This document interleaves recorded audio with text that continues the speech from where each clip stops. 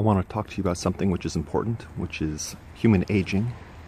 Human aging kills thousands and thousands of humans each day, each day, millions upon millions of humans each year.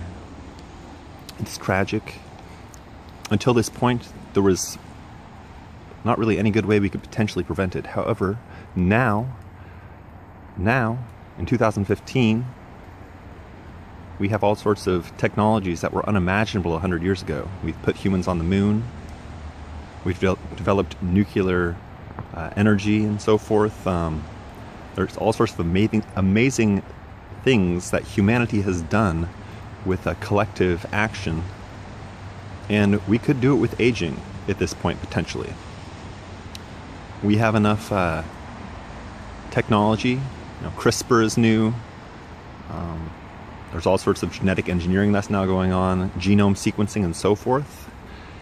And if, if we put enough collective resources, money, and energy into defeating aging, from a technological and scientific standpoint, uh, there's a decent chance we could do it in the next you know, 20 years if we put enough effort. Now, like, theoretically, it might be impossible. I, well, I think that's very unlikely.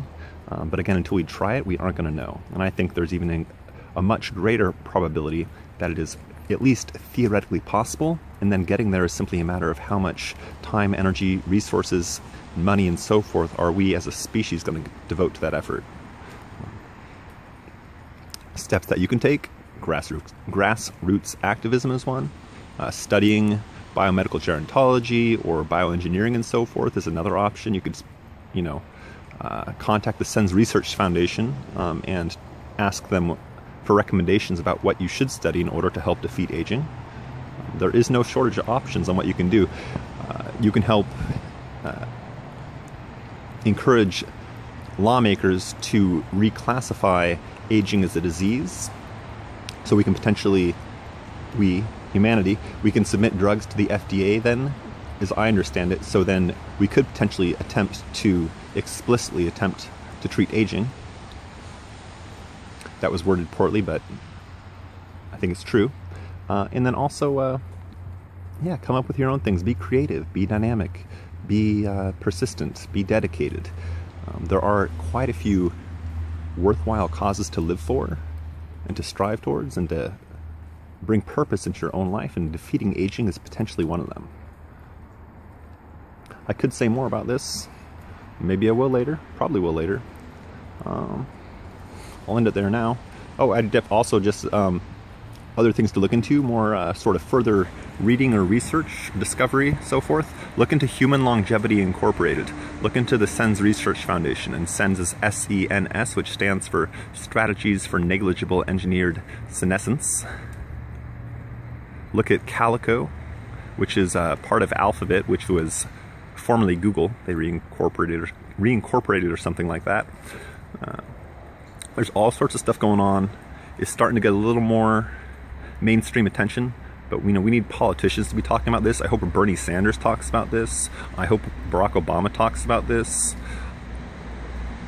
So on and so forth. It's a worthwhile thing. Please do your own research. Read the book Ending Aging by Aubrey de Grey and Michael Rae. It was published in around, I think the first edition was roughly 2007, and now it is 2015. Uh, we could be doing more um, to defeat aging. I could go on like this. I could probably talk like this for however long I need to or want to. Uh, but I'm trying to do my part because, you know, I studied psychology for, what, about six years after high school. I could go back to school theoretically. Don't really feel like it right now. Maybe I will. I don't know. But, uh, but if nothing else, I can at least do, do what I'm doing right now. Um, and you can do probably more than you are now to help defeat aging if you want to. It's up to you. I don't believe in coercion, so, you know, to each their own. Um, Anyway, uh, thanks for watching. Please subscribe, watch my other videos, visit my websites, and have a wonderful morning, evening, afternoon, or night, whenever and wherever you may be.